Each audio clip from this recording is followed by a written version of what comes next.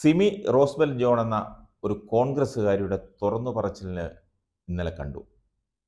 ഓണത്തിന് ഉണക്കപ്പുട്ട് കച്ചവടം ചെയ്യാൻ ശ്രമിക്കുന്നുവെന്നാണ് എറണാകുളത്തുള്ള എന്റെ ഒരു സ്നേഹിതൻ പറഞ്ഞത്. ഓണക്കാലത്ത് പുട്ടിന് നല്ല ചിലവുണ്ടാവും. ആ സമയത്ത് തലേ ദിവസത്തെ ഉണങ്ങി മാർദ്ദവം നഷ്ടപ്പെട്ട പുട്ടും കൂടി വിൽക്കാൻ ശ്രമിക്കുന്നതിനെയാണ് പഴഞ്ചൊല്ലിന്റെ രൂപത്തിൽ കാരണവന്മാർ പണ്ട് പറഞ്ഞിട്ടുള്ളത്. ഹേമ കമ്മിറ്റി റിപ്പോർട്ട് വന്നപ്പോഴാണ് പവർ ഗ്രൂപ്പിന് ഒരു പവർ ഉണ്ടായതെങ്കിലും ലോക സൃഷ്ടിയോടുകൂടി തന്നെ പവർ ഗ്രൂപ്പും രൂപപ്പെട്ടു എന്ന അഭിപ്രായമുള്ള ആളാണ് ഞാൻ. എനിക്ക് എനിക്ക് അങ്ങനെ ഒരു അഭിപ്രായമാണുള്ളത്. അന്ന് ലോക ജനത ജനതയുടെ ഇടയിൽ എല്ലാ മേഖലകളിലും പവർ ഗ്രൂപ്പുണ്ട് അതൊരു കുടുംബത്തിലായാൽ പോലും പവർ ഗ്രൂപ്പുണ്ട് ക്രിസ്ത്യാനിയായ സിമിക്ക് മനസ്സിലാക്കാൻ പാകത്തിനൊരു കാര്യം പറയാം. ഞാനൊരു ക്രിസ്ത്യാനിയാണ്. ആദത്തിന് ഹവായിക്കും കായേൻ ആബേൽ എന്നീ രണ്ട് മക്കളായിരുന്നു. അന്ന് അവരുടെ ഇടയിൽ പവർ ഗ്രൂപ്പ് ഉണ്ടായിരുന്നു. അതിന്റെ അനന്തരഫലമായിട്ടാണ് കായൻ ആബേലിനെ അടിച്ചു കൊന്നത്.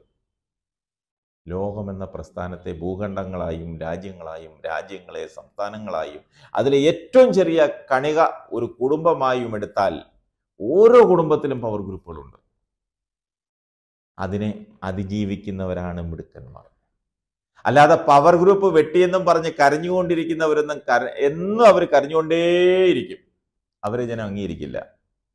സിമി റോസ്ബെൽ ജോൺ ഈ സന്ദർഭത്തിൽ ഇതുമായി ഇറങ്ങിയത് ഗൂഢലക്ഷ്യങ്ങൾ വെച്ചിട്ടല്ലേ എന്ന് ആരെങ്കിലും സംശയിക്കുന്നുണ്ടെങ്കിൽ അവരെ നമുക്ക് കുറ്റം പറയാൻ പറ്റുമോ? പറ്റില്ല.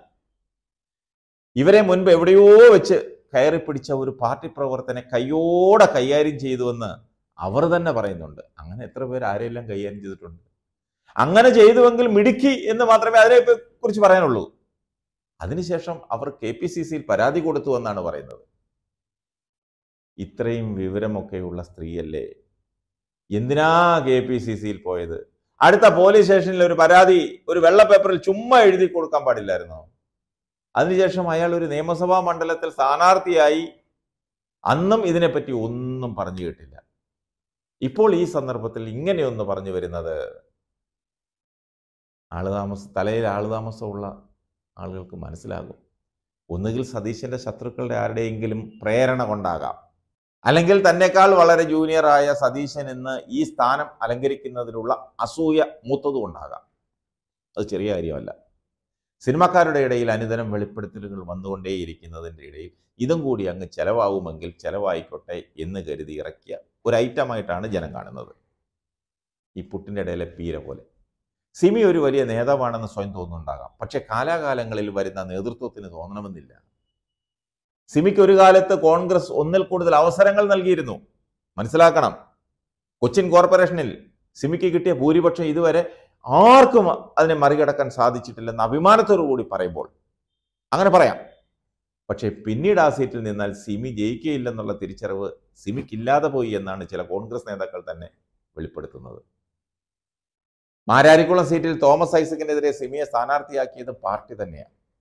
സാക്ഷാൽ വി എസ് അച്യുതാനന്ദനെ തോൽപ്പിച്ച് കോൺഗ്രസ്സുകാരനായ പി ജെ ഫ്രാൻസിസ് ഇതേ മാരാരിക്കുളത്ത് ജയിച്ചിട്ടുണ്ട്. അതുപോലെ തന്നെയായിരുന്നു സതീശന്റെ കാര്യവും. സി പി ഐ കുത്തകയാക്കി വെച്ചിരുന്ന സീറ്റിലാണ് സതീശനെ പരീക്ഷിച്ചത്. സതീശൻ അതങ്ങ് വാങ്ങി. അതങ്ങ് എടുത്തു. തുടർന്ന് കൈവിട്ടു പോകാതെ സൂക്ഷിച്ചു. കണ്ണിലെ കൃഷ്ണമണി പോലെ. അതാണ് സതീശന്റെ മിടുക്കും സിമിക്കില്ലാതെ പോയ സാധനവും. മാരാരിക്കുളത്ത് സ്ഥാനാർത്ഥിയായി സിമി പോയതിനെ പറ്റി ആലപ്പുഴയിൽ പ്രചരിക്കുന്ന രസകരമായ ഒരു കഥയുണ്ട്. വെറും തമാശയായിട്ട് എടുത്താൽ മതി. എങ്കിലും സന്ദർഭത്തിന് ചേർന്നതായതുകൊണ്ട് പറയുന്നു എന്നേ ഉള്ളൂ. റെയിൽവേ സ്റ്റേഷനിൽ പെട്ടിയുമായി ഇറങ്ങിയ സ്ഥാനാർത്ഥി ഓട്ടോ വിളിച്ച് ഡി സി സി ഓഫീസിലേക്ക് പോകട്ടെ എന്ന് പറഞ്ഞു. ഡി സി സി ഓഫീസിലേക്കുള്ള വഴി ചോദിച്ച ഡ്രൈവറോട് പണ്ട് മോഹൻലാൽ ഒരു സിനിമയിൽ പറഞ്ഞതുപോലെ നമുക്ക് ചോദിച്ചോശു ശുഭം കോൺഗ്രസിന്റെ നിയമസഭാ സ്ഥാനാർത്ഥി പറഞ്ഞതാണ് ഇത് വെറും കുസൃതിയാണ്. പക്ഷെ അതിലൊരു കാര്യമുണ്ട്. പല കോൺഗ്രസ്സുകാരുടെയും അവസ്ഥ ഇത് തന്നെയാണ്. രാഷ്ട്രീയ പ്രവർത്തനം എന്ന് പറയുന്നത് മുകൾ പരപ്പിലൂടെയുള്ള യാത്രയല്ല. കെ കരുണാകരനെ പോലെയുള്ളവർ കാണിച്ചു തന്ന വഴിയും അതല്ല. കണ്ണൂരിലെ ഒരു ചിത്രകലാകാരൻ ഒരു പെയിന്റടിക്കാരൻ കേരളത്തിലെ മുഖ്യമന്ത്രിയും ഇന്റർനാഷണൽ കോൺഗ്രസ് എങ്ങനെ പോകണമെന്ന് തീരുമാനിക്കുന്ന ആളുമായെങ്കിൽ അത് അയാളുടെ അധ്വാനം കൊണ്ട് മാത്രമാണ്. കുറേ നേതാക്കന്മാരെ പരിചയമുണ്ട് ഉണ്ട് എന്നുള്ളത് കൊണ്ട് കോൺഗ്രസ് നേതാവായില്ല. നിങ്ങൾ ശോഭിക്കില്ലെന്നറിഞ്ഞ കോൺഗ്രസ്സുകാർ തന്നെയാണ് നിങ്ങളോടുള്ള സ്നേഹം കൊണ്ട് പി എസ് സിയിൽ കുടിയിരുത്തിയത്. അതൊരു ഭരണഘടനാ സ്ഥാപനമാണ്. അതുകൊണ്ടെന്തായി? മാസം ഒരു ലക്ഷം രൂപയിൽ കൂടുതൽ പെൻഷൻ കിട്ടുന്ന അവസ്ഥയുണ്ടായി. നിങ്ങളോടൊപ്പം സഹയാത്രികരായിരുന്ന എത്ര കോൺഗ്രസ്സുകാർക്ക് ഈ പ്രയോജനം കിട്ടിയിട്ടുണ്ട്? ഈ അവസരം കിട്ടിയിട്ടുണ്ട്. നിങ്ങൾക്കൊക്കെ വേണ്ടത് സ്ഥാനമാനങ്ങൾ മാത്രമാണ്. നാലണയ്ക്കുള്ള ഒരു മെമ്പർഷിപ്പ് മാത്രമുള്ള ആളുകൾ എത്രയോ പേർ കോൺഗ്രസ്സിലോ രാഷ്ട്രീയത്തിലോ ഒന്നുമാകാതെ നടക്കുന്നുണ്ട്.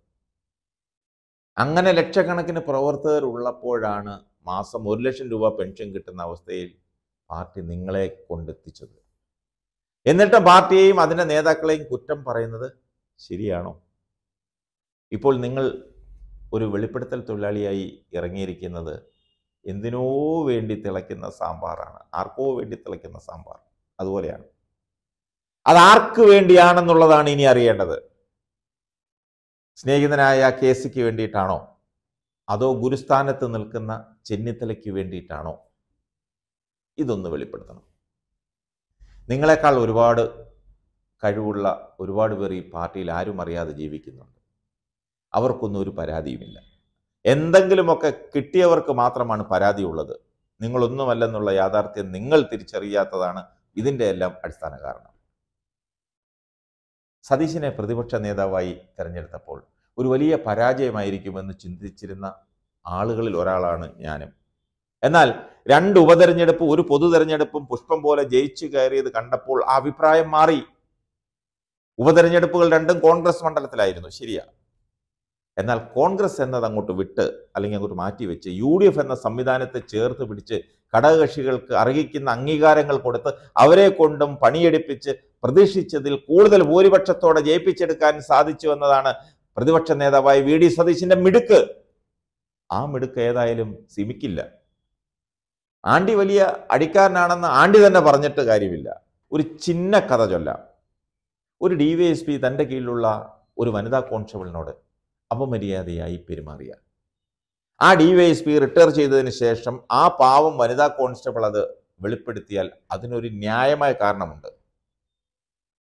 എന്നാൽ അതേ ഡി വൈ എസ് പിക്ക് ഐ പി എസ് കിട്ടി ആ എസ് പി ആയി അവരുടെ മേളിൽ ചാർജ് എടുക്കുന്ന ദിവസം ഇതുപോലെ ഒരു വെളിപ്പെടുത്തലുമായി ആ വനിതാ കോൺസ്റ്റബിൾ വന്നാൽ ഐ പി എസ് ലഭിക്കാത്ത ഏതോ ഒരു ഡി വൈ എസ് പിയുടെ ചട്ടകമാണെന്ന് വിലയിരുത്താൻ കഞ്ഞിയും പയറും തന്നെ കഴിച്ചാൽ മതി. സിമി സതീശനെതിരെ പവർ ഗ്രൂപ്പ് എന്ന് പറഞ്ഞു വന്നിട്ടും തന്നെ ശാരീരികമായി ഉപദ്രവിച്ചവരെ പറ്റി ഇന്ന് ഒരു പരാതി ഒരു പോലീസ് സ്റ്റേഷനിലും കൊടുത്തതായി അറിയില്ല. രണ്ടടി കൊടുത്തു വന്ന് പറയുന്നത് ശരിയാണെങ്കിൽ പിന്നെ അതിന്റെ ആവശ്യമില്ല. അതോടെ തീർന്നു. സിമിയെ പോലെ അവസരങ്ങൾ പലത് ലഭിച്ചിട്ടും ഫലപ്രദമായി ഉപയോഗിക്കാൻ പറ്റാത്തവരോട് നമ്മൾക്കൊക്കെ സഹതാപമുണ്ട്. ജോർജിയുടെ അവസരം കൊടുത്തതിനെപ്പറ്റി സിമി ചിലത് പറയുന്നത് കേട്ടു. വളരെ മോശമായ ഒരു പ്രസ്താവനയാണത്. എനിക്ക് അങ്ങനെയാ തോന്നിയത്. പാർട്ടിക്ക് വേണ്ടി ഒരുപാട് കഷ്ടപ്പെട്ട് നടന്നയാൾ തന്നെയാണ് ജോർജ് ഈഡൻ അയാൾ വെറുതെ കൈയും വീശി വന്ന് എം എൽ എയും എം പിയും ആയതല്ല. കെ എസ് യുവും യൂത്ത് കോൺഗ്രസും കളിച്ച് തന്നെ താഴേത്തട്ടിൽ നിന്നും വളർന്നു വന്നയാളാണ്. സുഹൃത്തുക്കൾക്ക് നല്ലൊരു സഹായിയായിരുന്നു. ജോർജ് ഈഡൻ കൈയടിച്ചാൽ വീട്ടുമുറ്റത്ത് ആയിരങ്ങൾ നിരക്കുമായിരുന്നു. സിമി ഒന്ന് ഉറക്ക വിളിച്ചാൽ എത്ര പേര് വരുമെന്ന് ഒന്ന് ആലോചിക്കുന്നത് നല്ലതാണ്. അതിന്റെ പേരാണ് നേതൃത്വ ഗുണം. അതൊന്നുമില്ലാതെ വിലാപകാവ്യം രചിച്ചിട്ട് കാര്യമില്ല സിമി. പിന്നെ ഇതിനൊക്കെ ഒരു ഭാഗ്യം വേണം. ബാബു ചാഴിക്കാടൻ എന്ന ഒരു യുവ നേതാവ് ഉണ്ടായിരുന്നു. എന്റെ ഏറ്റവും അടുത്ത സ്നേഹിതനായിരുന്നു. ബസ് സ്റ്റാൻഡിലും റെയിൽവേ സ്റ്റേഷനിലും കിടന്നുറങ്ങി കേരളത്തിൽ അങ്ങോളം ഇങ്ങോളം സഞ്ചരിച്ച് കെ എസ് സിയും യൂത്ത് ഫ്രണ്ടും ഒക്കെ കെട്ടിപ്പടുക്കാൻ നടന്ന നേതാവാണ് കേരള കോൺഗ്രസിന്റെ വിദ്യാർത്ഥി പ്രസ്ഥാനത്തിന്റെയും യൂത്ത് ഫ്രണ്ടിന്റെയും നേതാവായിരുന്നു. ഒരുപാട് ത്യാഗം അനുഭവിച്ച അയാൾക്ക് സമ്മാനമായി ഏറ്റുമന്നൂർ നിയമസഭാ സീറ്റിൽ മത്സരിക്കാൻ അവസരം കൊടുത്തു പാർട്ടി. തെരഞ്ഞെടുപ്പ് പ്രചാരണത്തിനിടയ്ക്ക് ഇടിവെട്ടേറ്റ് ആ പാവം മരണമടഞ്ഞു. ബാബുവിന്റെ രാഷ്ട്രീയ കളിയോട് ഏറെ എതിർപ്പുണ്ടായിരുന്ന ബാങ്ക് മാനേജർ അദ്ദേഹത്തിന്റെ സഹോദരൻ തോമസ് ചാഴിക്കാടൻ എന്ന സഹോദരന് ബാബു ചാഴിക്കാടന്റെ അവസരം വീണ് കിട്ടി. നാല് പ്രാവശ്യം എം എൽ എ ആയി ഒരു പ്രാവശ്യം എം പി ആയി. സിമി റോസ്വെൽ ജോൺ സിമി ബോർവെൽ ജോൺ ആവരുത്. അരുതാത്തത് പറഞ്ഞ് ആരെയും ബോറടിപ്പിക്കരുതെന്ന് ചുരുക്കം.